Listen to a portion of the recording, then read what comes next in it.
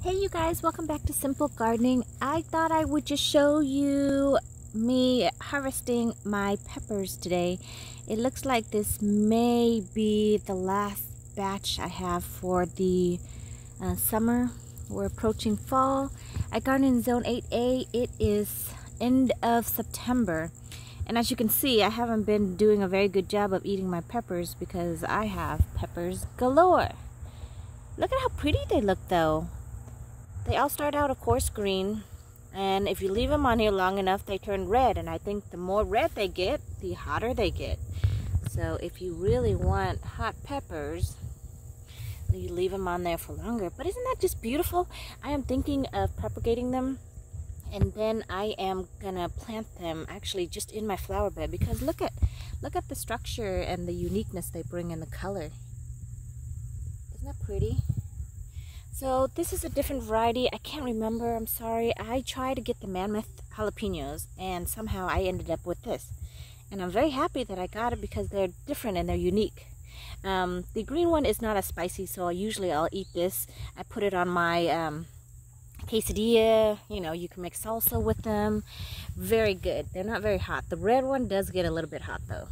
Uh, full warn you. And then I have two other, and these are my giant um, mammoth jalapenos. That's what they're called. And you can see I've left them on here for so long that we even mowed and they got some grass on them. But I'm gonna cut, I'm gonna cut them, harvest them, and give them to my friends who have been wanting some. And I told I would bring her some. But see, there are some red ones. I've also got new buds. Ah, that's so weird. There, this harvest season has been so long. I, I can't eat them all. We actually made um, jalapeno poppers. Super yummy very simple to do you guys. And these are great because look at how big they are. So you can either take them from the top and then stuff them but I like to cut them in half and then I fill both sides with cream cheese.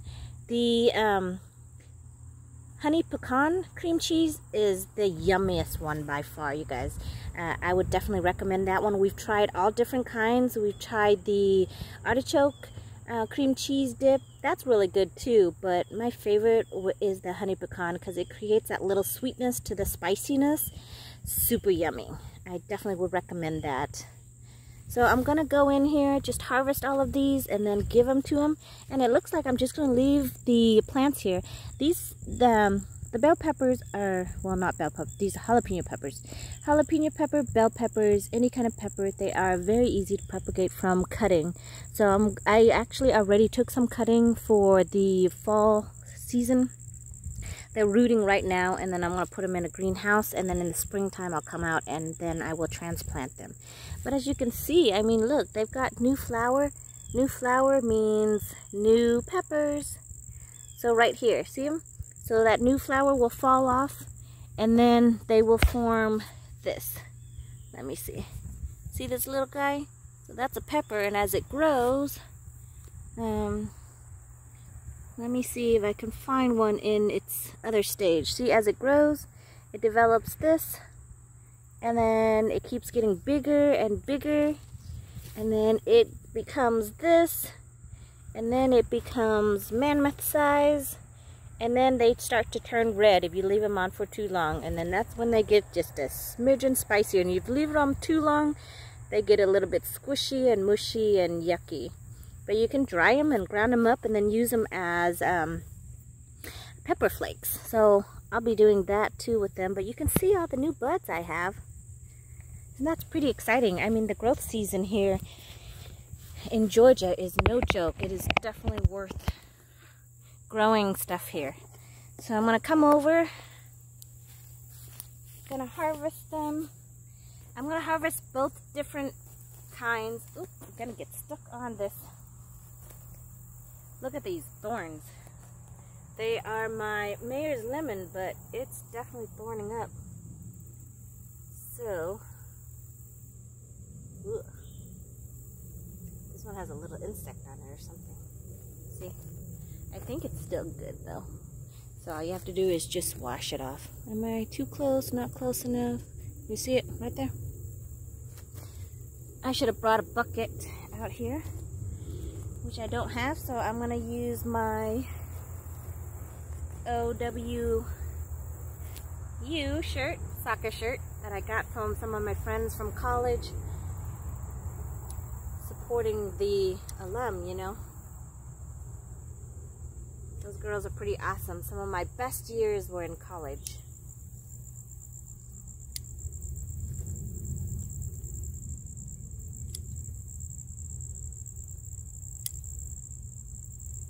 Ooh, yeah, you can definitely smell them.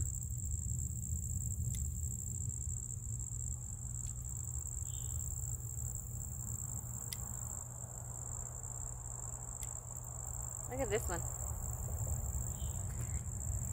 Color is turning, but it's not quite red. But look at that intense red.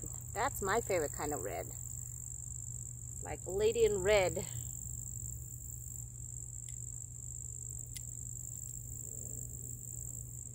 So my uh, daughter go to school with, you know, other kids and their mom wanted some. So I don't want these to go to waste. So we're gonna keep on cutting. And I still have some more. I'll probably leave just a couple for me here and there. But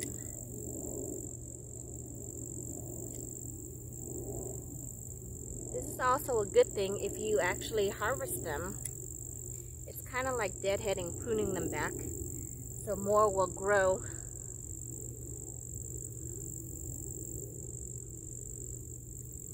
Xena back there. I was wondering what was creating that noise.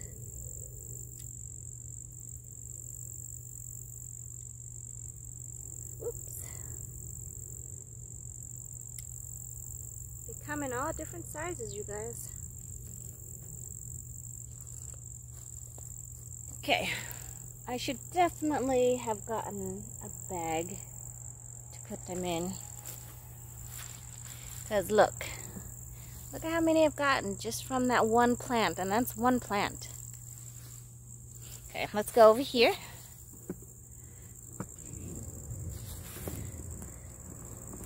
Sorry, I have to put the stand down real quick so it doesn't topple over.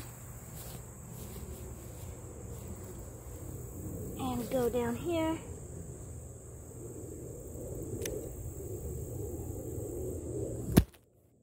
See? It did topple over. Okay, so the ground is not quite... Look how big this one is. The ground is just not quite it needs to be. Look at that. Isn't that pretty?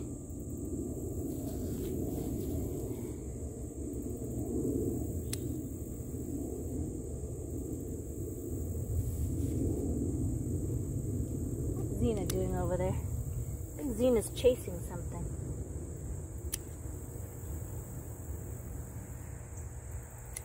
Okay, so see this one is a little bit too mushy. See how it squishes?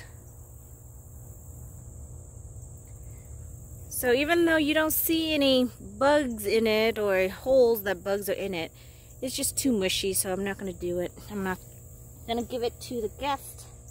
So see how firm these are? This is what you want it to be like.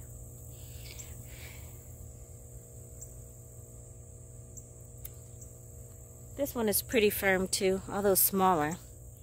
Ooh, they smell hot. Hot tamale.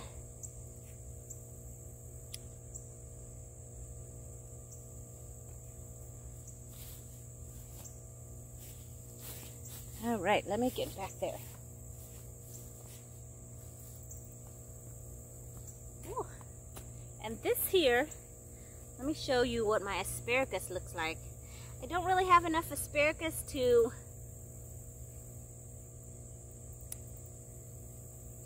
to cut off and eat, but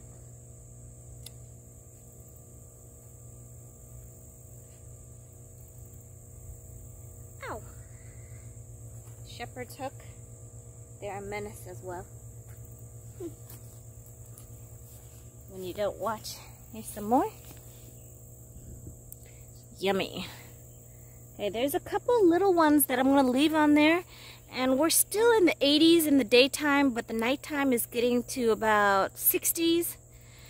So they are definitely dwindling down, but there's still there's still some time left for it to mature some more. So I think I'll leave just the little ones here just so I can have some. And as you can see, more flowers.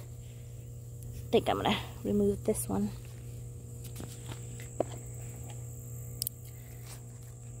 Remove this one and this one